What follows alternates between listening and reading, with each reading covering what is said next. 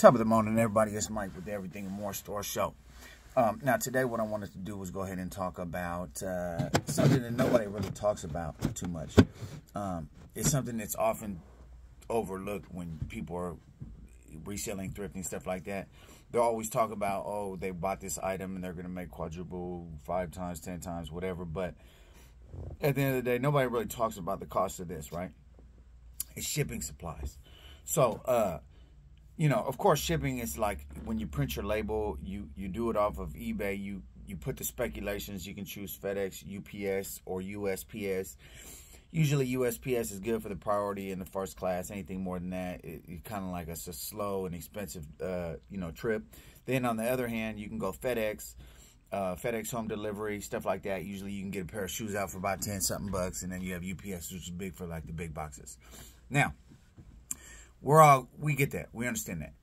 But overlooked once again is the shipping supplies. So I just want to talk about a couple, you know, uh, needed shipping supplies. So first and foremost, if you're only and this is uh, like almost no one is doing this, but if you're only using flat rate boxes, then okay, you don't don't worry about this, except for maybe like a bubble wrap. But most people don't, right?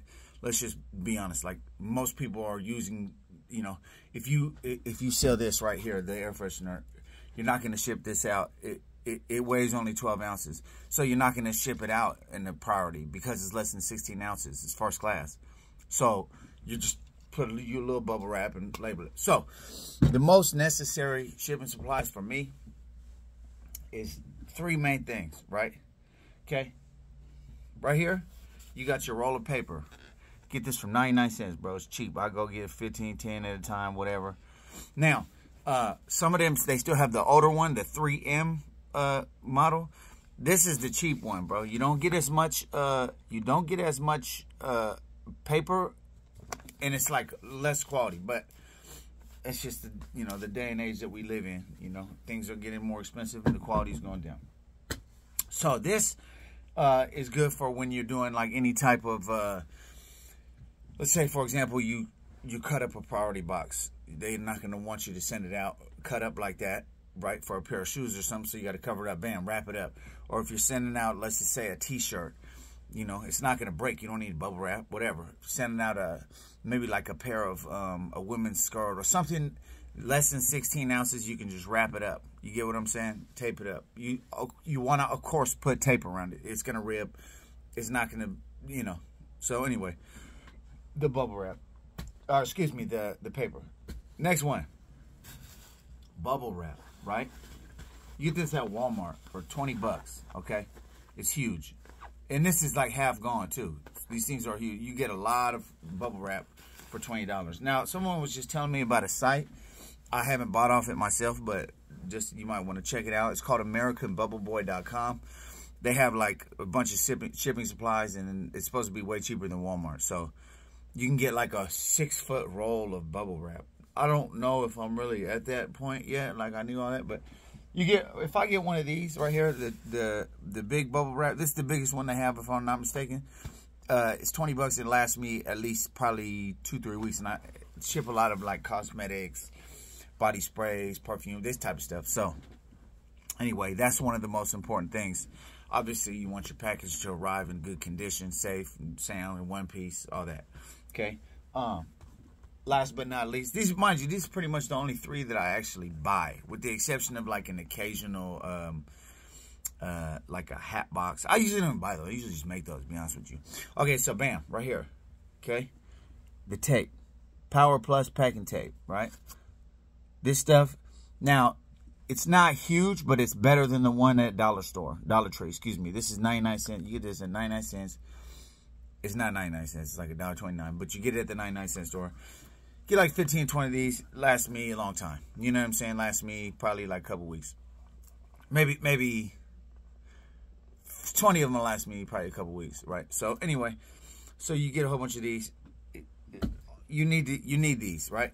So unless you're only exclusively doing flat rate boxes and envelopes, you're gonna even if you're doing flat boxes, you're still gonna need tape because the medium flat rate box doesn't have an adhesive sticky uh, a sticky little seal on it. So you're gonna need tape. Um, and then let's just say, for example, right, if you're gonna go ahead and like, let's say I want to send a pair of shoes out, but I don't need, and it's going to California. I'm in California. Let's say it's going to California. I don't want to send it spend uh, fourteen dollars, which is the medium flat rate box. If you print your label, I don't want to spend fourteen bucks, right? So let's just say I, am like, well, I only need this much space in the box. You just the flat rate box, you just cut him down, right? Put your shoes in, bam. You get what I'm saying? Put a little thing over it, tape it. Take your brown paper, put the brown paper over it, tape it off, because they're not going to want you to send priority in the box that's not priority box. You get what I'm saying? If, if you're not it's not like you get any type of issue for it, but they don't want that. You get what I'm saying? So anyway, so you got to cover it up.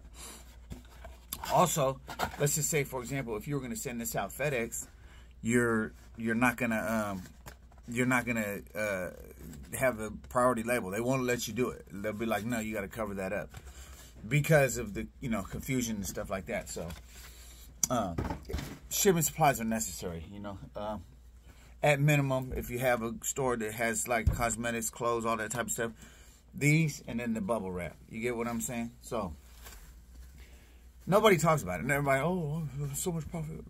Okay, bro, let's talk about what's realistic. You know what I'm saying? So me, save all the money that you can save. 99 cent store, Walmart, 99 cent store. You know what I mean? So you got to think. Let's just, on average, right? If I'm getting like 15 of these, that's probably about $20 every, let's just say two, three weeks, right? Then, say I probably get about 15 of these a month, right? So that's about what? Another like 20 bucks a month, right? So that's 60 bucks a month. Right? One of these every so it's probably 120 a month you'll spend on shipping supplies. You know, and if you if you have a good, you know, influx and outflux of inventory, then it shouldn't be a problem, man. Anyway, I just wanted to drop that little quick little common sense jewel on everybody real quick. I hope it's beneficial to you. If it is, please comment, like, and subscribe. Thank you all. Have a good day and a happy new year. I'm out.